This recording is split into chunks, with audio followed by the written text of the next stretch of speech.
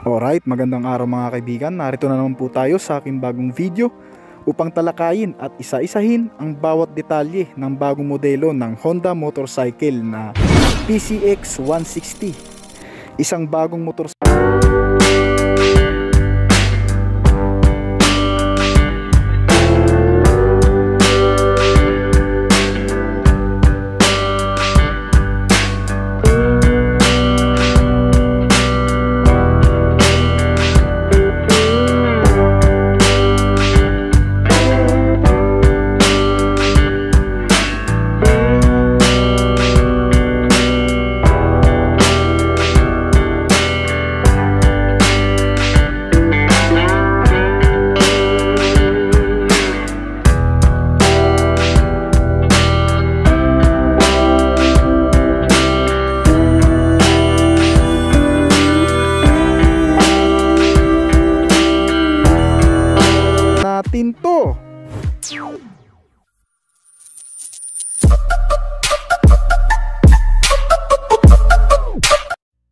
Honda PCX ay may bago na namang bersyon ngayong 2022 at yan ang tatalakayin natin ngayon. Pero bago yon, konting flashback lang po sa history nito.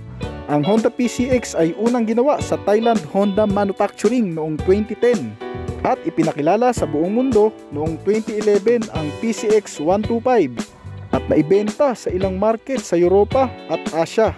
At simula noon ay binago at in-upgrade na rin ito sa bago nitong version noong 2012. At pagkatapos ng ilang taong pamamayagpag ng PCX ay nagkaroon din ito ng manufacturing sa ilang bansa sa Asia tulad ng Vietnam noong 2014 at sa Indonesia naman noong 2017 hanggang sa nagbago na nga at nag-upgrade pa ang feature specs at design nito noong 2015, 2019 at 2021.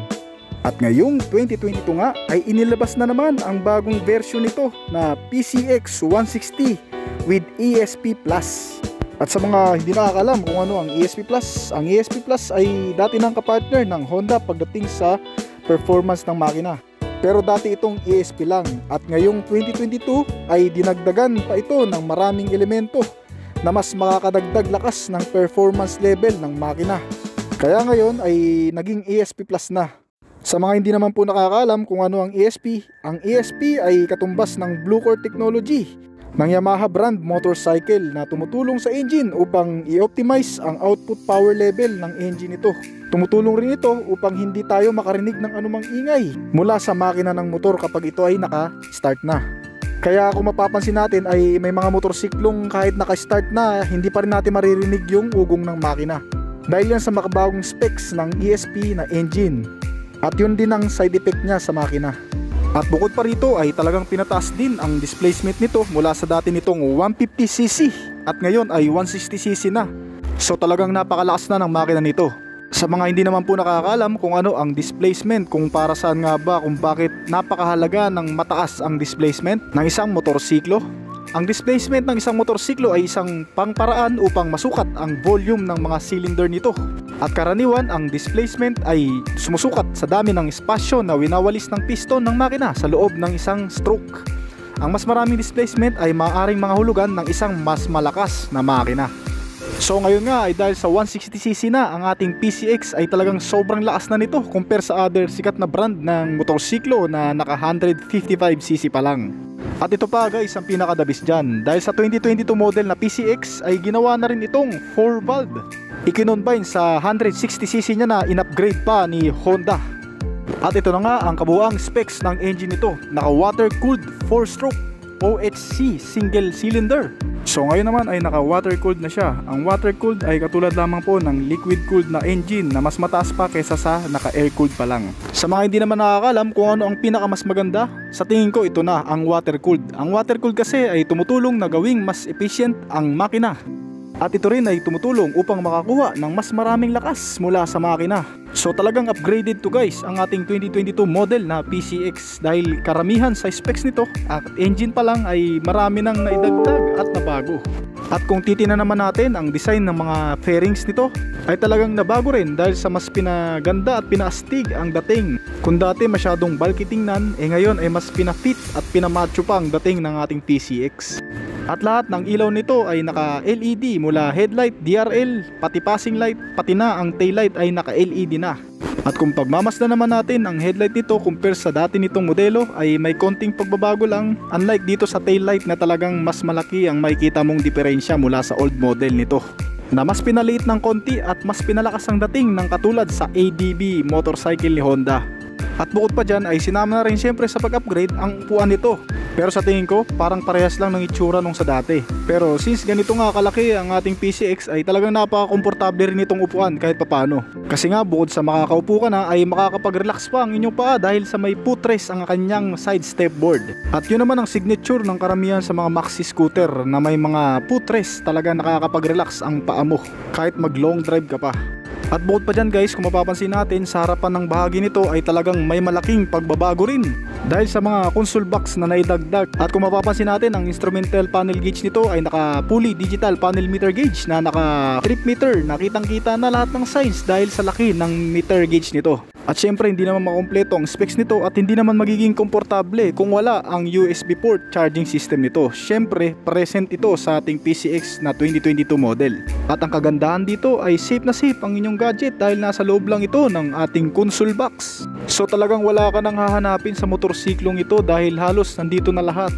Present na present ang pinakabagong spec sa isang motorsiklo na narito lang sa ating PCX 2022 model. At bukod pa dyan ay napakalaki na rin ng ating console box na kayang-kayang ipasok ang full face helmet at isang kapote na rin para talagang siguradong relax ang biyahe kahit mag long drive ka pa. Usapang long drive guys, naku napakamahal ng gasolina ngayon siguro next time na lang. Pero syempre dahil sa PCX 2022 ang gamit mo, naku pwede na rin siguro dahil sa sobrang tipid naman ito sa gasolina. Dahil nga sa gawang Honda, sigurado makakatipid ka hindi lamang sa gasolina at iba pang spec at aspeto nito. Dahil kapag gawang Honda, siguradong dekalidad pa. Alright, pagdating naman sa ating safety and security, meron naman itong ABS sensor sa front wheel tires nito at parehong naka-dis ang front and rear nito na brake. Meron na rin itong kasamang passing light switch at engine check warning. Para naman sa hindi nakakaalam kung para saan ang engine check warning, ang engine check warning ay lumalabas lamang po kapag ang inyong engine sa loob ay nagkakaroon ng aberya o malfunction na inaibisuan tayo upang madala agad sa pinakamalapit na service center at hindi ka makaranas ng pagtirik sa daan. Dahil sa napakabigat ng ating PCX, tsak mahirapan ka rin sa pagtulak nito. At oo nga pala guys, ang PCX na ito ay naka keyless operation na na may kasamang anti-theft alarm na hindi ka mangangamba kahit saan mo i-park dahil sa anti-theft alarm, protektado ang motorsiklo mo. At isa yun sa pinakamagandang advantage ng motorsiklo. At adjustable headlamps na may high and low beam. At meron din itong kasamang accessories power outlet na pwede kang magdagdag ng isang accessories na electrical na itatap mo lang dito sa kanyang accessories outlet socket. At ito pa guys, dahil sobrang laki na nga at bigat ng ating PCX na 2022 model, ay pinataasan na rin ang kanyang maximum power na nasa 15.8 horsepower sa kada 8,500 revolution per minute habang ang maximum torque naman nito ay nasa 15 newton meters sa kada 6,500 revolution per minute. So talagang nagsitaasan na rin pati yung mga maximum output nito mula sa dati nitong modelo na 2019 model nung unang labas. Ang drive type nito ay naka belt drive at ang fuel supply ay fuel injection at ito na ang kanyang bagong ignition, naka full transistorized ignition na. Sa mga hindi naman nakakalam kung para saan nga ba ang ignition, ang ignition ang nagbibigay ng spark upang maghalo ang air at ang fuel at para magkaroon na rin ng electricity o kuryente sa buong motorsiklo. At since naka full transistorized na nga ang ignition nito, ay mas pataas na ang ibibigay nitong voltahe o elektrisidad mula sa motorsiklo. So meaning pwede ka na magdagdag ng iba pang electrical na accessories sa motorsiklong ito. Dahil kayang-kaya nitong i-accommodate ang iba pang electrical accessories na matataas ang voltahe na idadagdag mo dito sa motorsiklong ito. Dahil nga naka full transistorized ang ignition nito. At ang transmission type nga pala nito ay automatic at ang gearbox naman nito ay CVT o yung tinatawag nating continuously variable transmission. Ang CVT ay gumagamit lamang po ng isang belt. So ibig sabihin ang motorsiklo natin ay hindi chain ang ginagamit kundi belt. Ang bore stroke size naman nito ay 50 mm to 55.5 mm. At ang compression ratio naman po nito ay 12.0. At ang emission type ay BS6 na alam naman lahat natin na kapag bagong motorsiklong scooter at lahat ng mga bakabagong scooter ngayon ay hindi na talaga ganong kausok. Dahil na rin sa naka-FI ang karamihan ngayon. At pagdating naman sa ating chassis and suspension, ang chassis frame nito ay underbone, ang front suspension nito ay telescopic fork, at pagdating naman sa rear suspension ay unit swing na may dual shock. So itong kagandahan din dito kasi naka dual shock na sobrang lalaki ng mga coil spring. Talagang kayang-kaya ring magbuhat ng heavy duty itong motorsiklong ito. Siguro aabutin ng 100 kilo grams o higit pa ang kayang buhatin ng motorsiklong ito. Sa dimension and capacity naman po tayo, ang pinakahaba po ng motorsiklong ito ay 1935 mm o 2 meter stick. Sa lapad naman ay 740 mm. Ang height naman po nito or yung taas niya ay 1105 mm o 1 meter stick. Sa fuel capacity naman, hindi ka mangangamba kahit mag long ride ka pa sa sobrang tipid nito at dahil sa sobrang laki na rin ng fuel tank nito na may 8.1 liters. Wow, kayang-kaya na siguro nitong magbagyo mula Manila na walang hintuan sa gasoline station dahil sa laki ng fuel tank nito.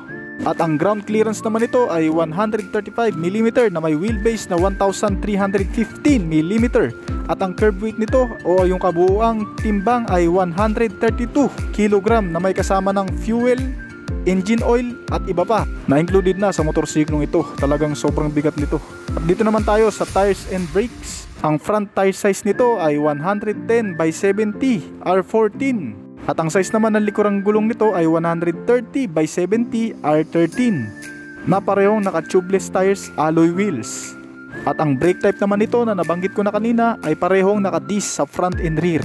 At sa electrical naman na nabanggit ko na kanina, lahat po ng ilaw nito ay naka-LED na.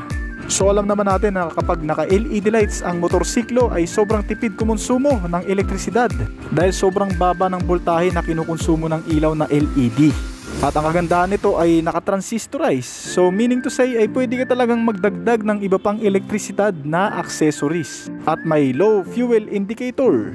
Ganyan kaangas at kaastig ang bagong TCX 160 na 2022 model. Hindi lamang sa design specs, external parts na nakabago dito, kasama na rin ang internal specs engine nito na talagang dinagdagan pa ng mga makabagong specs at tinaasan na mas magiging sulit ang pagbili mo sa motorsiklong ito. Wow, grabe, talagang sobrang sulit. Maangas na ang forma, maganda pa ang specs at features nito. At may limang kulay na inilabas nito sa ibang bansa pero hindi lang natin alam kung dito sa Pilipinas ay lima ring kulay ang ilalabas. Ang unang kulay ay matte dim gray metallic, fur jasmine silver, candy raster red, matte cosmo silver metallic, at Poseidon Black Metallic. So yan po ang mga nilabas na kulay sa ibang bansa. Pero syempre pagdating dito sa Pilipinas, mga iilan kulay lang siguro ang ilalabas nila. At sa mga nagtatanong naman kung magkano nga ba ang presyo nito sa Pilipinas para sa low-end variant na naka CBS, ang presyo nito ay 118,900. At para naman sa top-end variant na naka ABS, ang pinakabuoang presyo nito ay 136,900 dito sa Pilipinas. At syempre bago ko nga po pala makalimutan guys, itong PCX natin na 2022 model ay meron na rin pong traction control na hindi ka mangangamba sa alanganin pagliko dahil sa traction control ay sinusukat at tinitimbang ang pressure upang nang sa ganun ay hindi basta-bastang tumumba at masemplang ang motorsiklo kahit pa sa madulas at malulubak na kalsada at bigla mo itong niliko.